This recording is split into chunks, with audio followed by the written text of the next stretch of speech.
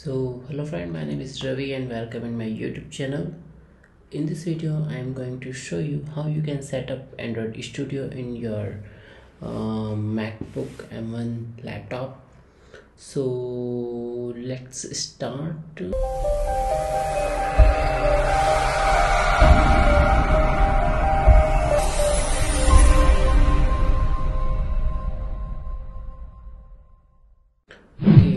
first open your browser. You can open either safari or chrome. And then search android studio. Okay. So this is the website of android studio. So you can see there's a link to download this android studio for mac. So it will take some time. Okay uh, okay it's downloading. Okay uh, the other thing uh, you can search uh, on google android studio for m1 chip okay? And when you open this link you will get uh, this page here. You can see like uh, it's mentioned we have made our initial preview for the emulator because uh, in the current version of android studio um, the emulator is not running on the m1 chip laptop. So there's a problem with the emulator. So we have to use uh, uh, this emulator provided by the this community. Okay? So you have to download this dmg file from this link. Let's download this one also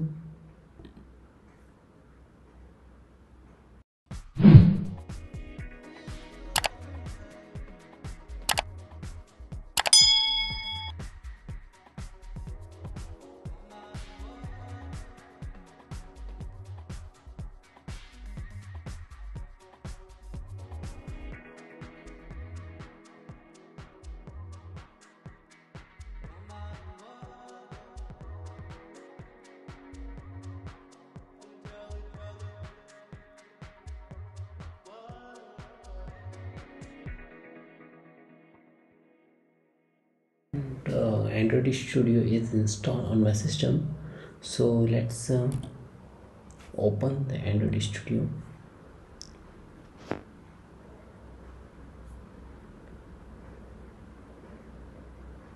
So this is the first time it is opening.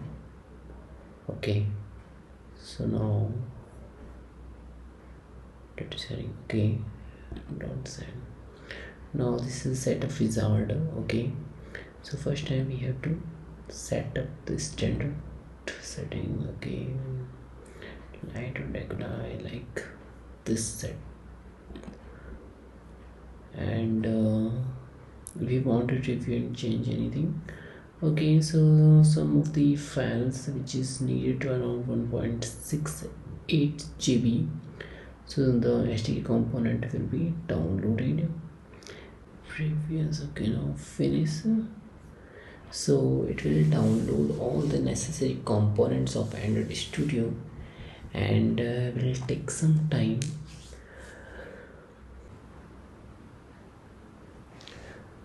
Okay so some of the components are downloaded.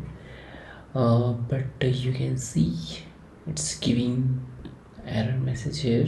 Unable to install intel HAXM because the CPU does not support the virtualization. Okay so uh, not a problem because uh, uh, we have a different emulator available so we can use that emulator okay? So just click on finish button. Now you can see this is the android studio which is installed okay as I have already downloaded the emulator. Okay so let's install that one also.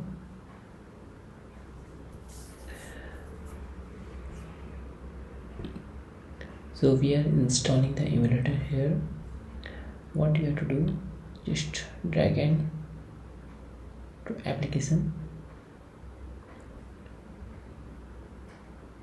Okay so now you can access the emulator also.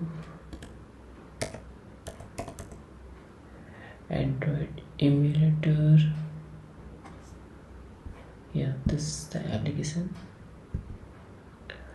Okay so android emulator cannot be opened because the developer cannot be verified. Okay so what you have to do? So first we have to go to the system preference then security and privacy now you can see that android emulator was blocked from use because it is not from an identified developer. So you have to click on open anyway. Then just open. Okay. So like this way you will be able to open this one. Could not automatically detect an adb binary some emulator function will not work until a custom path to adb is added okay? So not a problem. Okay so the our emulator is open. Now the android studio is also installed in the system and emulator is also installed in the system